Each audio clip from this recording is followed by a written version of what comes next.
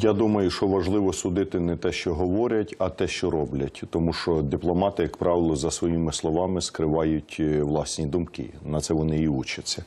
Тому я думаю, конкретику ми будемо бачити у е, конкретних діях, а не лише заявах. Що для нас надзвичайно важливо. Я вже інформував, що напередодні у неділю в мене була тривала зустріч із президентом Порошенком півтори години, де ми обговорювали в тому числі і питання. Я висвітлив свою бачення, свою позицію, що я б сказав би, будучи на е, місці президента Порошенка в Білому домі. Перше, це необхідність виконання Будапештського меморандуму, тих гарантій, які отримала Україна від Сполучених Штатів, Британії і Франції. На виконання цього Будапештського меморандуму, на виконання гарантій ми наполягли, і е, Верховна Рада України 22 березня проголосувала наше звернення про звернення до Конгресу Сполучених Штатів, до нової адміністрації Сполучених Штатів про необхідність на виконання гарантій по Будапештському меморандуму, укладення прямої військової угоди між Україною і Сполученими Штатами і визнання України основним союзником поза НАТО. Сполучені Штати сьогодні мають 18 таких угод з різними країнами, зокрема Японія, Південна Корея, Туніс, Афганістан, Ізраїль і цілий ряд інших країн. Ми вважаємо, але при цьому ці країни жодна з них не здавала ядерної зброї, як це зробила Україна. Тому на виконання Будапештського меморандуму я сказав про це президенту Порошенку, щоб він не втомлювався на всіх своїх зустрічах однозначно нагадувати нашим американським партнерам і друзям про необхідність виконання гарантій за Будапештським меморандумом. Или что? Почему? Или выйдем из дня, вот эта страшная аб- аббревиатура, которая расшифровывается как договор о нераспространении ядерного оружия. Чому я на цьому наполягаю? Тому що ми пам'ятаємо, минулого року був візит віце-президента Сполучених Штатів попередньо до України. Він виступав з тривалою чудовою промовою у, в українському парламенті. Єдина проблема за 50 хвилин своєї промови жодного разу не задав Будапештський меморандум.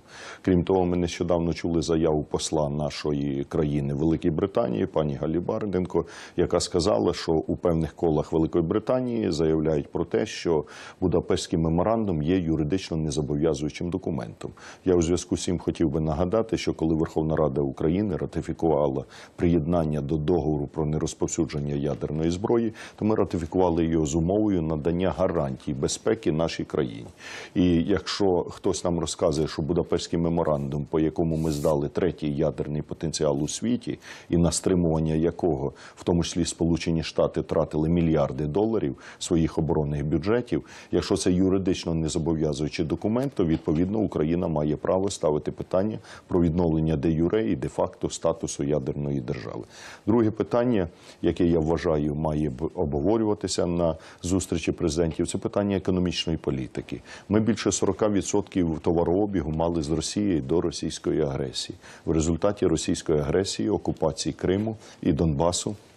Ми втратили цей товарообіг. Нам треба нові ринки. Завдання української влади, президента, уряду, торгпредів наших у е, закордонних дипломатичних представництвах це пошук нових ринків. Я вважаю, що прийшов час ставити питання про укладення зо угоди про зону вільної торгівлі між а, е, Сполученими Штатами Америки і Україною. Для нас це надзвичайно важливо, оскільки сотні підприємств, переважно розташовані на сході, на півдні України, були орієнтовані на російський ринок. Сьогодні ми втратили цей російський ринок. Сотні тисяч людей залишились без роботи, без можливості реалізовувати свою продукцію.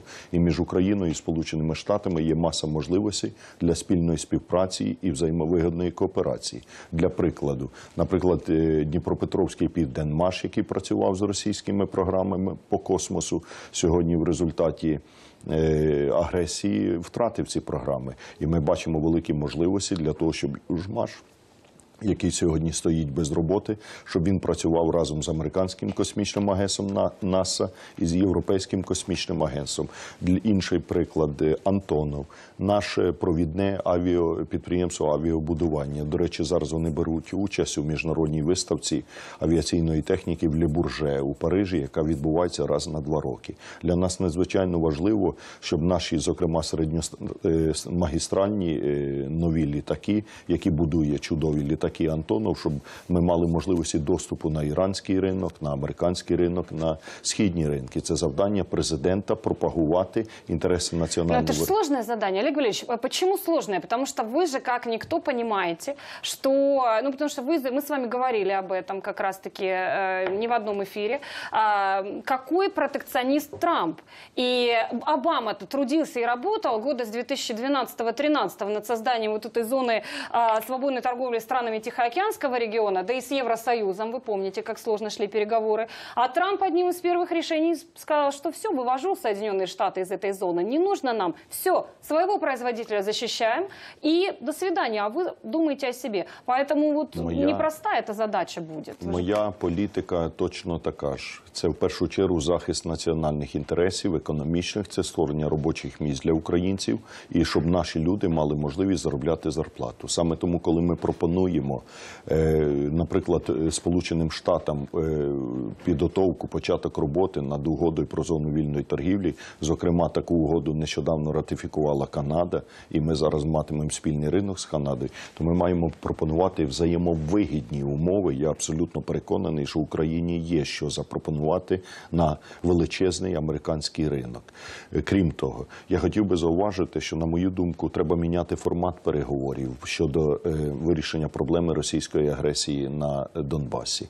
Від мінського формату, який насправді виявився нежиттєдайним, нежиттєздатним, який не вирішує головної проблеми відновлення територіальної цілісності, суверенітету України над Донбасом, над Кримом, адже в мінських домовленостях немає жодної загадки про Крим, і це, на мою думку, спроба за рахунок е, відмови від Криму вирішити проблеми Донбасу. Ми вважаємо це категорично неприйнятними, і тому я переконаний, що треба ставити питання про зміну формату переговорів, долучення до питання врегулювання ситуації, припинення російської агресії на Донбасі і звільнення Криму, долучення наших гарантів за Будапештським меморандумом е, Британії, е, е, Сполучених Штатів, ну вже Німеччина і Європейський Союз. Надзвичайно важливе питання, коли ми говоримо про протидії російській агресії. Я переконаний, що цю проблему треба розглядати в комплексі. Ми подивіться конфлікти, який конфлікт не візьми в світі скрізь Росія. Придністров'я Росія, Нагор- Нагірний Карабах Росія, Сірія Росія, Північна Корея підтримка Росії, Іран з його ядерними програмами, підтримка Росії. Тобто я переконаний, що протидія російській агресії і експансіоністській політиці Кремля, який фактично намагається по праву сильного пере, е, зневажати кордони, зневажати міжнародне право, зневажати право націй на самовизначення, на незалежне існування, як у випадку з нашою країною. Ми повинні е, посилювати цей широкий міжнародний фронт протидії путінській агресії, так як колись була антигітлерівська коаліція, де Сполучені Штати прийма брали найактивнішу участь. От так само Сполучені Штати сьогодні повинні стояти на чолі антипутінської коаліції. Вони не повинні займати політику ізоляціонізму, політику відмови від лідерства, тому що інакше тоді йде повага до міжнародного права, до кордонів, до прав людини, іде врешті та сила і лідерство Америки, про які всі заявляли. Америка, Ну, Америка, си- Америка сильна не в ізоляціонізмі, не в відмові від е, міжнародної політики підтримки миру. Америка якраз сильна у тому, що по всьому світу, коли агресор якийсь хоче силою захопити ту чи іншу територію, Америка не повинна бути байдужа. Більше того, я вкотре повторюю, що у випадку з Україною це особлива ситуація. Ми здали ядерну зброю. Ми відмовилися від гарантій. Ядерна зброя була нашим щитом. Я переконаний, якби ми не відмовились від ядерної зброї, ніхто б ніколи на нас не напав. Так само, як ніхто. Ніколи не нападе на Росію, коли вона має ядерну зброю. Ну, тогда я не да, приймаю давление было. Вы же Кравчука слышали эти интервью Я- неоднократные, я как чув- беспрецедентное давление, и просто я, не было я выбора. чув і про тиск, я чув про не- відсутність коштів на утримання ядерної зброї. Я не приймаю всі ці аргументи, тому що треба вміти протистояти тиску. Треба знаходити гроші не на хатинки в Швейцаріях, а на утримання ядерного потенціалу для того, щоб гарантувати незалежність нашої держави. Є відомий вислів: Хто не годує свою армію, буде годувати чужу. Тому ми мали тратитися і на оборону, і на все інше, щоб сьогодні не платити життями наших людей, військовослужбовців, мирних громадян за російську агресію. Крім того, я вважаю, що на виконання е, Будапештського меморандуму Сполучені Штати просто зобов'язані, зобов'язані, я наголошую, це не предмет навіть для обговорення, зобов'язані укласти пряму військову угоду між Україною і Сполученими Штатами і надавати нам необхідну допомогу.